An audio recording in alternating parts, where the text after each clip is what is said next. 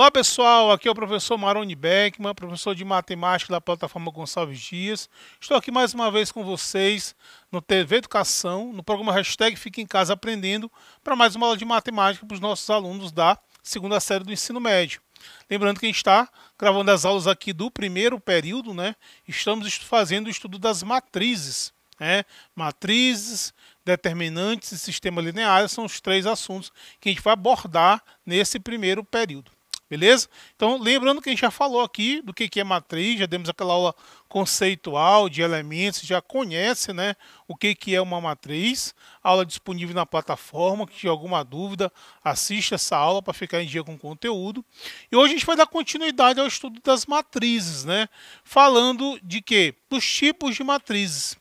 Tá? Quais são os tipos de matrizes que existem? Só lembrando o conceito, para quem não assistiu, que a matriz nada mais é do que uma tabela, né? onde os números se dispõem em linhas e colunas. Tá? Então, quando você organiza dados e utiliza uma tabela para isso, e organiza esses números em linhas e colunas, você está montando uma matriz. Beleza? E na aula de hoje a gente vai ver tipos de matrizes, que é o nosso conteúdo da aula de hoje. Beleza? Então a gente vai ver alguns os principais tipos de matrizes, né? Bom, vamos falar o que, que é o conceito do que, que é uma matriz linha, tá? Vamos ver o conceito do que, que é uma matriz coluna, tá? Falando também do que, que é uma matriz nula. Vamos dar o conceito também de matriz quadrada. Essa matriz aqui é bastante importante. A matriz quadrada talvez seja a matriz principal porque é ela que a gente vai usar lá no cálculo do, do determinante, certo? Vamos usar também lá no sistema linear. Então essa matriz aqui, a matriz quadrada, é uma matriz especial. Beleza? Vamos falar também da matriz identidade e da transposta de uma matriz. Tá? O que é uma matriz transposta? Então, tipos de matrizes é o assunto da nossa aula de hoje. Beleza? Então vamos comigo. Olha só, primeira, primeira, primeiro conceito é a matriz linha, né? O nome é bem claro. O que é matriz, chamado matriz linha? É a matriz formada por apenas uma linha. Tá? Esse é o conceito.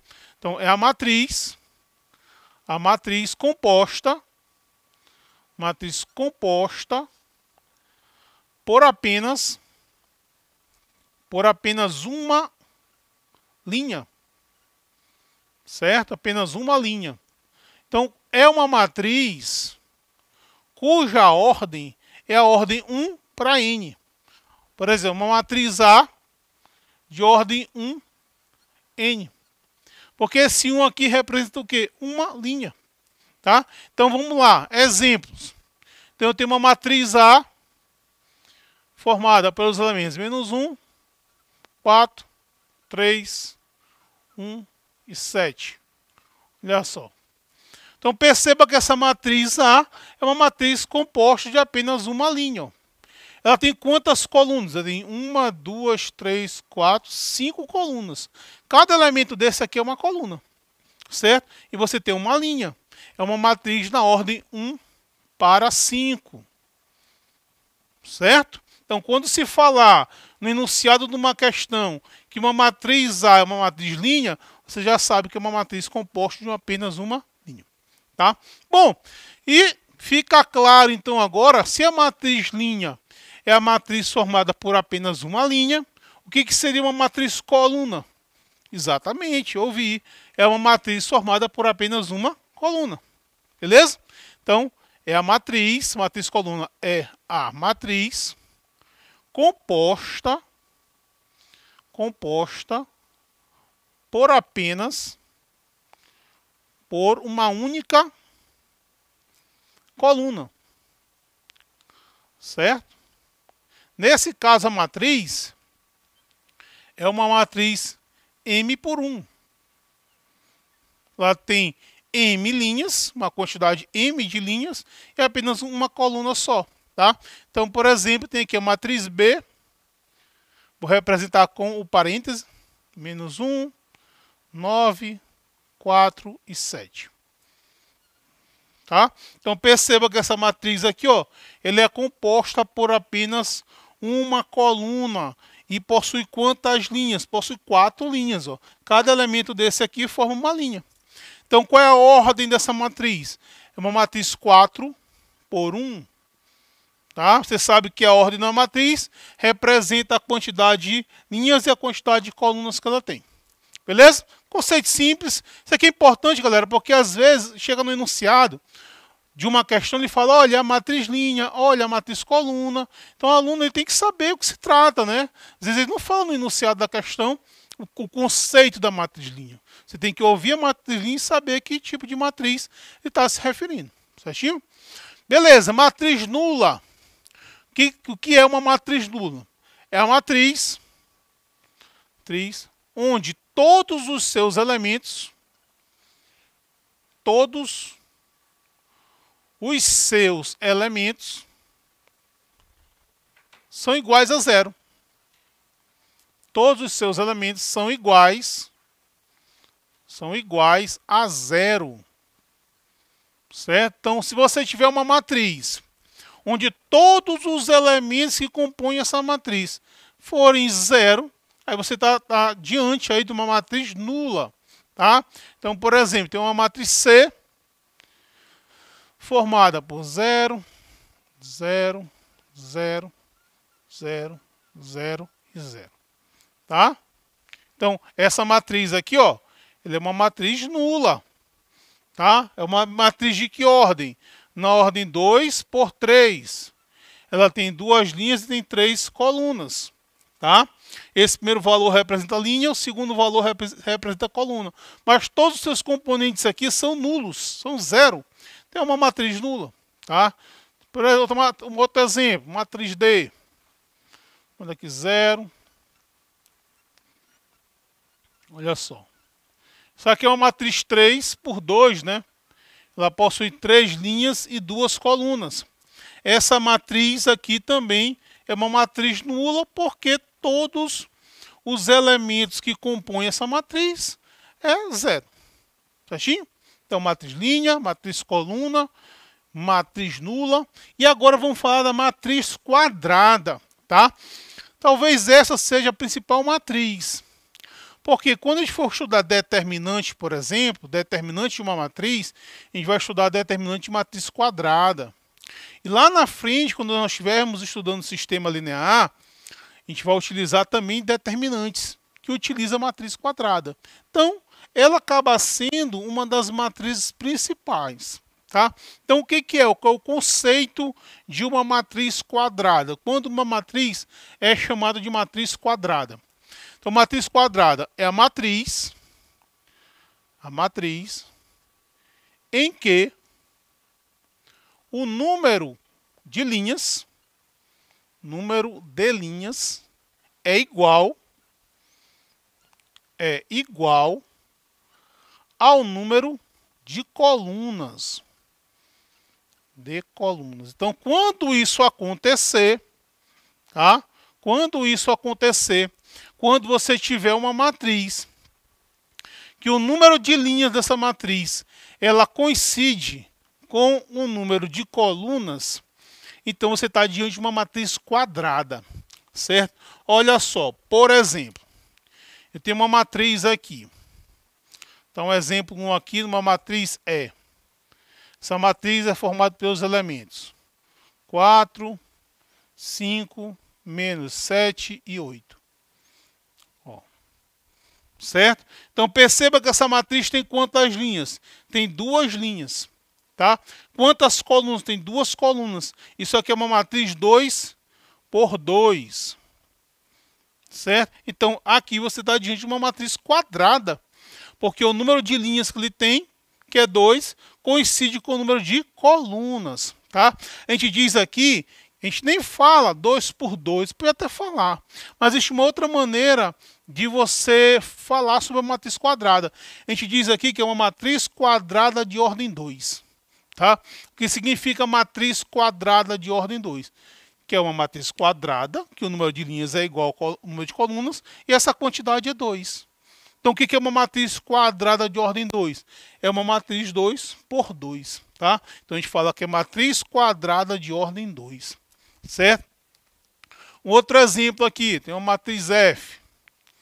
Vamos lá, escrever aqui uma matriz. Menos 5, 4, 3, 0, menos 2 e 7, 5, menos 1 e 9. Olha só. Então, essa aqui também é uma matriz quadrada de ordem o quê? Então, isso aqui é uma matriz quadrada de ordem 3. Matriz quadrada de ordem 3. Tá? Possui aí, no caso, é, três linhas e três colunas. Certinho? Então, esse é o conceito. Se é uma questão falar em matriz quadrada, olha, matriz A é uma matriz quadrada, você já sabe. A matriz B é uma matriz quadrada de ordem 3.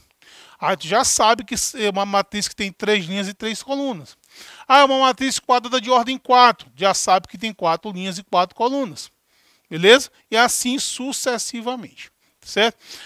Interessante aqui na matriz, na matriz quadrada, existem dois ele elementos aqui, ou duas que nós chamamos de diagonais.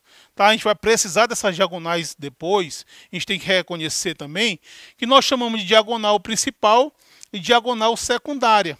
Tá? Quais são os elementos da diagonal principal? São esses, esses elementos aqui, ó, onde tem aqui o n igual ao m, ó, o i igual ao j, quer ver? Então, essa diagonal aqui, ó, é a chamada diagonal principal. Diagonal principal. E essa outra diagonal aqui, ó, essa outra diagonal aqui, ela é chamada de diagonal secundária. Secundária, tá? Professor, só só a matriz quadrada que tem diagonais, os outros tipos de matriz não tem, é só a matriz quadrada. Tá? Só a matriz quadrada é que possui as diagonais. Por exemplo, nessa, nessa matriz F aqui, ó, esses elementos aqui, ó, menos 5, menos 2 e 9, ó, esses elementos fazem parte da diagonal principal. Certo? Fazem parte da diagonal principal. Já esses outros aqui, ó, 5, menos 2 e 3, esses elementos aqui, ó, eles já fazem parte da diagonal secundária. Certo? Então, quando se fala de diagonais, é só a, a matriz quadrada que possui diagonais. Beleza, galera? Muito bem. Vamos falar também agora da matriz identidade. A matriz identidade ela é uma matriz é, quadrada. Tá? Toda matriz identidade, por definição, é uma matriz quadrada onde os elementos da diagonal principal é formado por 1, valem 1, e os elementos da diagonal secundária, olha, de todos os outros elementos, valem 0. Tá? Quando a matriz tiver essa característica, ela é chamada de matriz de identidade. Certo? Então, matriz de identidade é a matriz quadrada, a matriz quadrada, por definição, toda identidade ela é uma matriz quadrada, certo? Em que os elementos, os elementos da diagonal principal DP são iguais a 1, iguais a 1, e os demais elementos, todos os outros elementos que compõem a matriz são nulos. E os demais, os demais são nulos. Certo? Aí se você olhar essa matriz aqui, você está diante de uma matriz identidade. E a matriz identidade, galera, tem uma notação diferente. Assim, eu chamo da matriz identidade de ordem 2. Aí eu chamo de I2. Eu coloquei aqui um IN, né? Então, identidade de ordem 2, identidade de ordem 3, identidade de ordem 4. Então, por exemplo, se eu for montar aqui a matriz identidade de ordem 2. Então, vamos lá. Diagonal principal aqui é 1. Ó. E aqui os demais, 0. Certo? Isso aqui é a identidade 2, ou I2, que é a identidade de ordem 2. Tá? Se nós formos montar aqui o I3, o I3, nesse caso aqui, então vai ficar 1, 0, 0, 0, 1 e 0, 0, 0 e 1. Ó, isso aqui é a matriz identidade de ordem 3. A matriz identidade, ela vai entrar alguns cálculos que a gente vai ver pela frente. Tá? Então, a gente vai usar aqui a matriz identidade mais na frente. Então, é bom que a gente saiba reconhecer. Turma, e assim sucessivamente, né? Se você for montar aqui o I4, é a identidade de, é a identidade de ordem 4. Matriz quadrada, de quatro linhas e quatro colunas. Os elementos da diagonal principal são unitários e os demais elementos todos são nulos. Certinho? Então, esses termos tá, é importante que você conheça. A gente pensa que é bobagem, mas pode aparecer no enunciado de uma questão. Tá? E aí a gente tem que saber. Beleza? Galera, matriz transposta. Na verdade, a matriz transposta não é um tipo de matriz. É assim, você tem uma matriz e você tem uma matriz transposta a esta matriz. O que, que é uma matriz transposta? Né? Então, olha só. Então, se você tem, ó, temos uma matriz, uma matriz qualquer, vou chamar matriz A de ordem M por N. Certo? Então, você tem uma matriz A de ordem M por N. Nós chamamos de transposta de A. Quem vai ser a transposta da matriz A transposta de A, que você denota o A com Tzinho aqui em cima. Certo? Então, se você tem a matriz A, a transposta dela, você coloca um T lá em cima. Então, se você tem uma matriz e você tem um T, tipo como se fosse o expoente, está falando que essa matriz é transposta da matriz A. Tá? Então, a transposta da, de A é a matriz A, tracinho, N por M. Ah, professor, a matriz, a transposta da matriz A, ela, você inverteu aqui a ordem, né? Aqui você tem uma ordem M por N e aqui você tem uma ordem N por M. Isso quer dizer o quê? O que você mudou? A linha pela coluna. Tá? Eu vou botar um exemplo para ficar, ficar melhor de ser entendido. Tá? Para a gente poder ficar bem claro para vocês. Olha só. Vamos supor que você tem essa matriz aqui. Ó. Vamos supor que eu tenho aqui uma matriz A. Tá?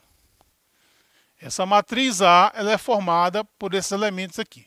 Menos 1, 4, 3 e 2. Certo? E aqui 5, 9, menos 7 e 0. Essa aqui é a minha matriz A. Vamos supor que eu quero montar a transposta de A. Eu quero escrever aqui a matriz A transposta. Certo? Então, o que, que você vai fazer? Ora, é bem simples. Você pega uma maneira de você fazer isso sem problema, pega essa primeira linha aqui, ó, e transforma na primeira coluna. Tá? Essa matriz aqui é uma matriz do que? 2 por 4, né? Duas linhas e quatro colunas. Tá? Então vamos pegar essa primeira linha aqui, ó, e vamos transformar essa primeira linha em coluna. Então você tem menos 1, 4, 3 e 2. Certo? E aí você vai pegar essa segunda coluna, essa segunda linha, e transformar na segunda coluna. Então você vai ter aqui, ó, 5, 9, menos 7 e 0. Certo? E aí você criou a transposta da matriz A. Se você perceber bem que qual é a ordem dessa matriz, essa matriz aqui transposta virou uma matriz 4 por 2. Ó. Então perceba que ocorreu exatamente o que a gente colocou na definição aqui. O que, que inverteu? Quantidade de linha e quantidade de coluna. Tá? Então, em qualquer situação que você precisar determinar a transposta da matriz, é só transformar a linha em coluna. Certinho, turma? Então, galera, na aula de hoje a gente está conhecendo ainda as matrizes, a gente não está começando a fazer operações, mas está conhecendo, né? Vimos aí os tipos de matriz, matriz linha, coluna, identidade, matriz quadrada e, só, e aprendemos como determinar a matriz transposta. Um abraço a todos, já sabe, hashtag Fique Casa Aprendendo.